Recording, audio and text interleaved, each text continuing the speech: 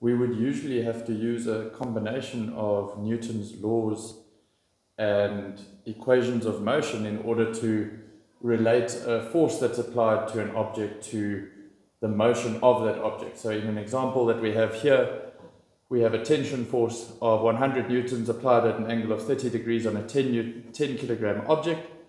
The object moves 15 meters to the right and there's a frictional force of 20 newtons. And the question here would ask something along the lines of calculate the final velocity or the velocity after 15 meters. And then we would need to start by calculating the horizontal component of the tension force, then the net force acting on that object, and then use Newton's second law to find the acceleration of that object and then find this appropriate equation of motion to determine the velocity of this object, which we find here is 14.14 meters per second to the right. Now, once we have a concept of work, we can use the work energy theorem, which states that the net work done on an object is equal to the object's change in kinetic energy. That can be written in a formula as net work is equal to delta Ek or Ek final minus Ek initial, where we remember that Ek is our kinetic energy, which is the energy as a result of an object's motion. So now what this allows us to do is we can, using the net force that is acting on this object, we can calculate the net work because we know that net work is equal to the net force multiplied by the displacement of the object multiplied by the cosine of the angle between these two.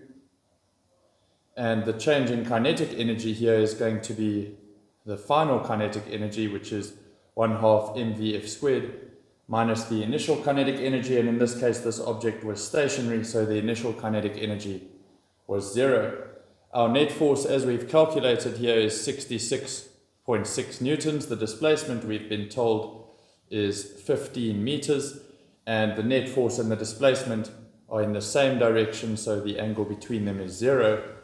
And we have the mass of the object given as 10 kilograms, and then the final velocity is the only unknown here, where we can solve for our final velocity to find that it is 14.14 meters per second to the right.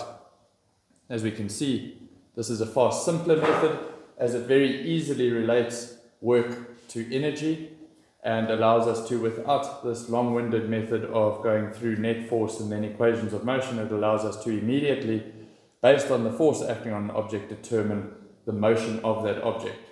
It is important once again here because this reminds us that when we have a positive work that is done on an object, when the work done on an object is greater than zero, it means that the energy of this object would increase. As we can see here, this object has gone from having zero kinetic energy after having positive work done or a positive net force acting on it, the amount of energy that that object has increases.